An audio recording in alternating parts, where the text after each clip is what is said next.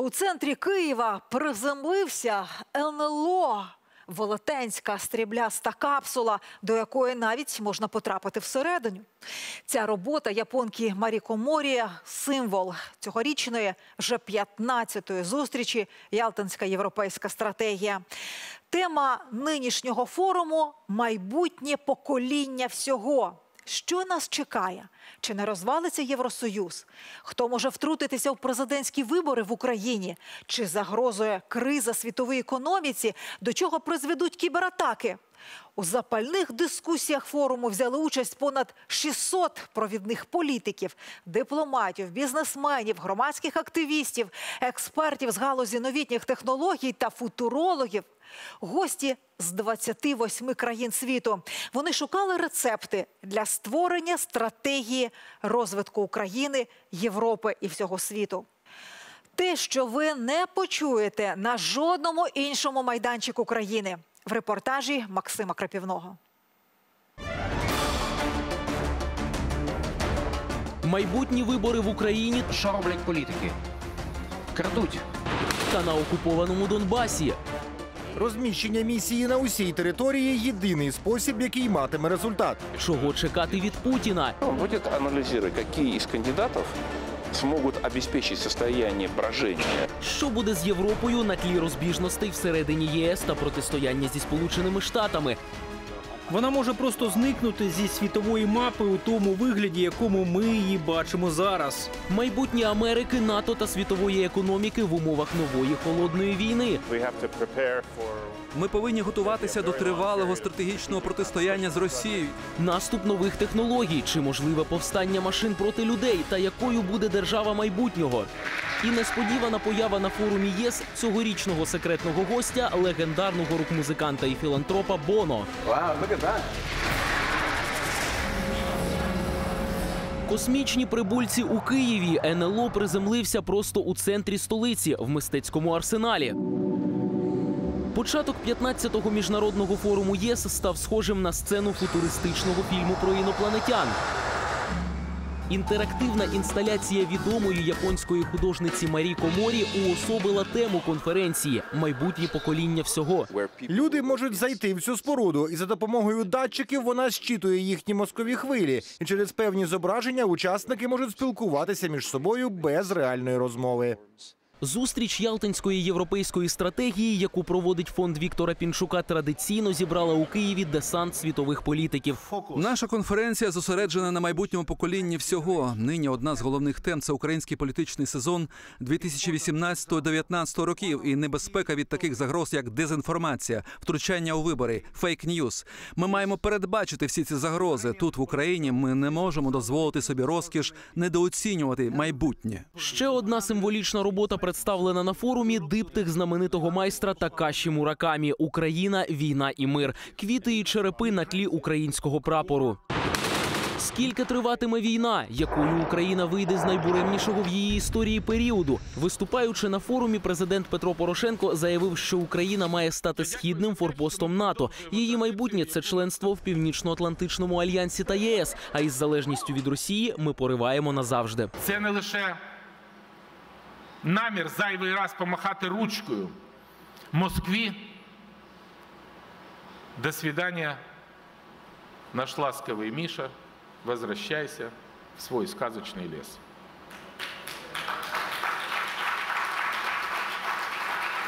А це меседж і нашим західним партнерам, як неодноразово вже нам казали, що двері відкриті. Ми обов'язково цим скористаємося.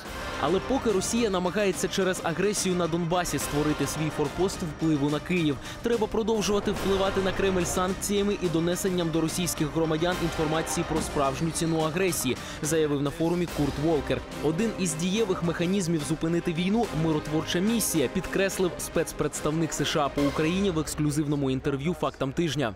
Розміщення місії на усій окупованій території це єдиний спосіб, який матиме результат. Якщо поставити миротворців лише на лінії зіткнення, це знову розділить Україну на дві частини. Місія ООН на всій території це запорука безпеки та гарантія проведення виборів. Москва, схоже, затіяла ще одну небезпечну гру на Донбасі фейкові вибори, які ставлять під загрозу мінський процес. Це грубе порушення. Якщо світ, тобто е, нормандський формат погодиться насамперед, значить ми просто легалізуємо цю владу, яка є до сьогоднішнього дня е, так званих ДНР і ЛНР. Ще один виклик для України майбутні президентські та парламентські вибори. Як Росія спробує їх використати, щоб привести до влади потрібних кандидатів? А те, що механізми дезінформації, кібератак, фейків будуть задіяні Кремлем однозначно, не сумнівається екс-радник Путіна Андрій Ларіонов. Будет анализировать, какой из кандидатов э, в Украину или какие из кандидатов смогут обеспечить состояние брожения, хаоса и беспорядка в наибольшей степени. Эти кандидаты получат наибольшую поддержку. Аби запобігти зовнішньому втручанню в українські вибори, Євразійський центр Атлантичної ради, фонд Віктора Пінчука та Трансатлантична комісія з чесних виборів запустили під час форуму спеціальну робочу групу. Перед виборами 2019 року нам допоможе і Google, який створює штучний інтелект, здатний у переписці визначити лихі наміри. Кібервійна це не просто хакерство, це проникнення в нашу душу. Нам потрібно збирати емоційні повідомлення. Завдяки інтернету людей налаштовують один проти одного. Але досі лишається інтригою, хто, окрім очевидних кандидатів, змагатиметься за президентське крісло. У форумі взяли участь відомі українські політики та соціальні лідери. Не треба пропонувати Україні шляхи, які так чи інакше частини території роблять або напівукраїнськими, або навпаки роблять частину територій інтегрованими в Україну, але абсолютно підлеглими країні-агресору. Це не можна допустити. Владу в Україні мають взяти люди, яким довіряє суспільство, заявив на форумі ЄС відомий музикант Святослав Вакарчук. Він не дав чіткої відповіді, чи братиме участь у президентських виборах, але вже говорив, як впевнений у своїх силах соціальний лідер. Мовляв, ви знаєте, музиканти повинні співати, а, політикою повинні займатися політики. 27 років ці політики займаються політикою. І що ми бачимо? Що роблять політики? Крадуть. Ви готові миритися з такою ситуацією? Я не готовий. Чи готова Україна миритися із корупцією?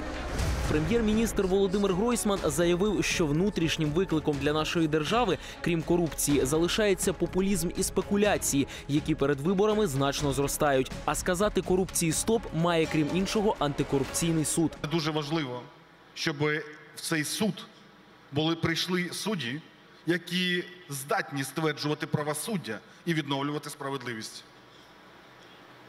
Тому я щиро вірю в те, що після формування найближчими місяцями нової антикорупційної незалежної е, інституції суда ми зможемо побачити реальні вироки по реальним справам. У протистоянні із зовнішніми та внутрішніми викликами Україна потребує й подальшої політичної і фінансової підтримки заходу. У ці ж дні учасник форуму віце-президент Єврокомісії Валдіс Домбровскіс підписав з українською стороною угоду про надання Києву макрофінансової допомоги на 1 мільярд євро.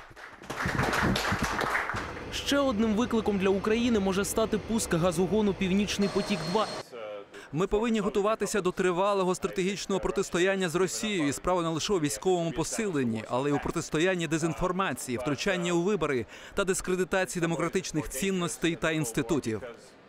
Подібні гібридні атаки Москви вже вдарили по ЄС, сказав фактам тижня екс-прем'єр-міністр Франції Мануель Вальс. Європа розділена, і я вважаю, що вона може просто зникнути зі світової мапи у тому вигляді, у якому ми її бачимо зараз. Тому нині у ЄС лише два шляхи: або об'єднатись, або зникнути.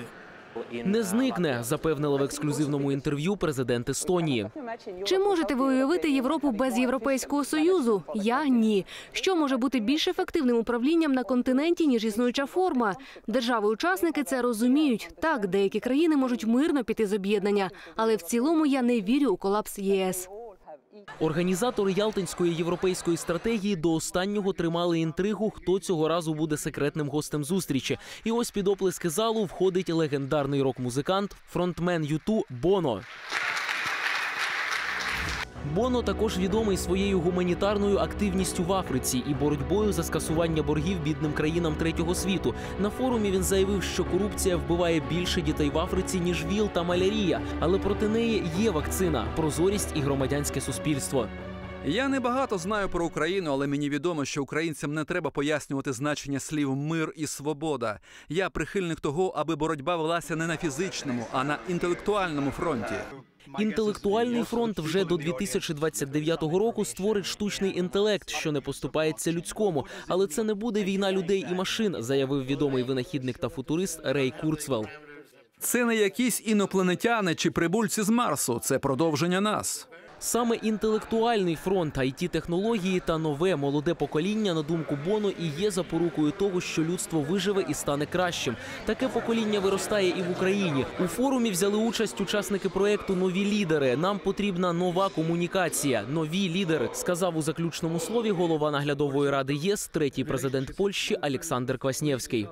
Нові лідери, нові зв'язки з виборцями, особливо з новим поколінням, тому що все старе по суті вже не працює. Я сподіваюся, що всі ці позитивні речі матеріалізуються наступного разу, коли ми зустрінемося на конференції ЄС в Ялті. Максим Крапівний, Олександр Візгін. Факти тижня.